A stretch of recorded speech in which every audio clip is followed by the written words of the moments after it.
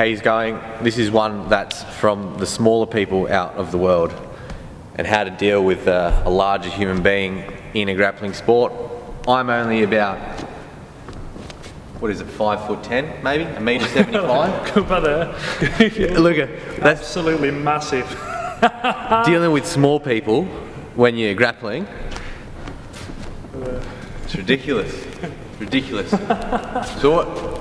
So this is this is how when I'm fighting Dave and we fight every night three four times and these this is a whole lot of great ginger yeti to fight and so this is how I have to do it. I have to do it like this otherwise I get absolutely destroyed.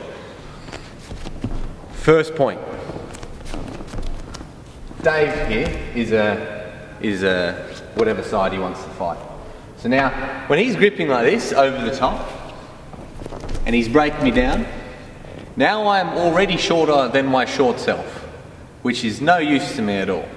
So the first thing I do is if I know that he's going for the top, I either post first and don't let him have it,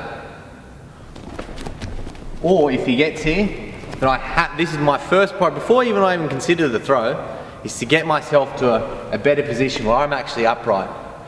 Now the thing is, is that like, you can take it two ways. You can go, right, well if he's going up top, well why don't I just go down below and lift? Which is possible, yeah, that's fair. But the problem is, is that if you don't go in all the way when you're going low, you just ended up in a position where I'm down here and now Dave's got all the weight and I can do absolutely nothing. So take that in consideration that if you're finding like he's got a reach advantage, he's got a size advantage. Now, I can't, I have to either play at a, at a length of far or that I'm gone in and I'm really in. If I play in this middle zone with him, he's just got more and it's just like a, just in an avalanche. He just keeps, keeps folding, folding on top. So take that, so that's what, two points? Yeah. Yeah? two points, right. Lucky, So gripping, lucky this is not a, a accounting lesson. Um, right, so the grip, that's where we're going to start. The second one is that the sleeve really is because even though if he goes, if I, if I, if he has a hand free, and if I now have the inside, so now look, I have an inside grip, and most times most people want to fight with an inside grip. Everyone fights for, everyone talks about fighting for the inside grip. But this kind of like, there's more of an emphasis if you're the smaller guy as well. Because if I go on the outside and Dave has the inside, as soon as Dave turns, there, there's nothing to stop him at all. Nothing. It's just, I may as well just do a nice break fall and wrap this, wrap this show up. So while I've gotten the inside and gotten the second hand, the reason why is that this second hand of his does a lot of damage in terms of the pulling. So any circular motion that he makes, has, I need to be controlling that. So if this hand's closer to my hip, it's safer for me and if I can get in, inside grip, and maybe now we can talk about having a fair fight, maybe.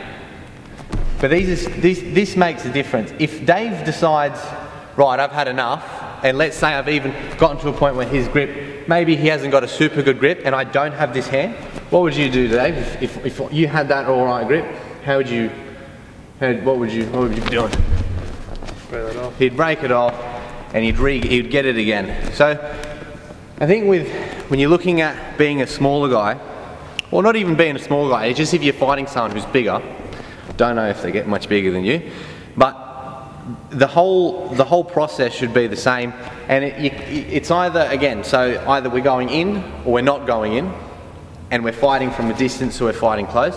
We're taking control. We understand that the, what this hand can do, and I think the best thing is be, offense, be on the offense as much as you can. What do you reckon, Dave? What do you reckon about fighting small guys? You fight any really solid ones, or what was the ones that gave you gave you trouble? So I'm six foot two, and you are Uh, well, meter seventy-five, I think. five foot nothing. In the morning. And then at the minute I'm under 100 kilos. Rob fights under 90 kilos.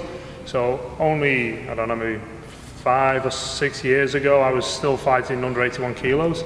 So I was right right up until the age of 24, 25. I was fighting uh, say under 81 kilos. Obviously at six foot two, and I would come across a lot of shorter, stocky guys, and sometimes the the the length or the longer legs would definitely be an advantage. I'd be able to really get across, and again, being a left-hander, usually fighting right people, it made it very easy for me to say get the grips, and then if I could break this space down, come for the Osotogari, Gary, you know, that's where I'd be. Um, getting, yeah. getting an, an, advantage over guys that are a bit smaller. Yeah. But like, like you touched on, on the, one of the, the main problems I would face would be you know coming close and then just shorter guys locking up and then trying to take me backwards.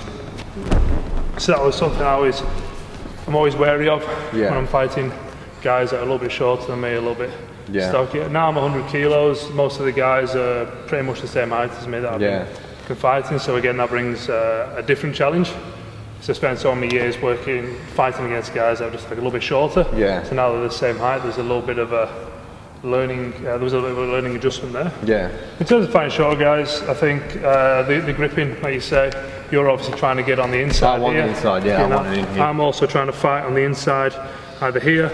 Sometimes I'd come out and, even though I'm a left-hander, I'd stand like right. yeah. Yeah. So you get the the grip there, and then usually I take the lapel, you take the sleeve, and then from here I can pull myself in and get like a real deep grip from here, and then obviously either looking for the culture, um, yeah. which you obviously couldn't see because the camera's too high. Uh, what are we gonna do? But yeah, so I think I think like you say, a lot of it comes down to the gripping. You've you've got your you've got your gripping agenda. Yeah. And you're trying to fight someone who's bigger, and I've come into this with my gripping agenda. Yeah. Because I'm fighting someone who's maybe just a little bit shorter than me. So, you know, we've got got two different. If you you know you've got different sizes, and and you know if you're someone in between being short and tall, and whatever that is, you know there'd be a way that you'd want to go about the gripping strategy and your own little system. Is that Dave? Dave at the end of the day is a large human being, and his gripping strategy is going to be his own, and I have to make my own. So, yeah, got to be a bit inventive, but look, look at what other people are doing and see, see if you can take anything to your game. So that's it. That's it from us.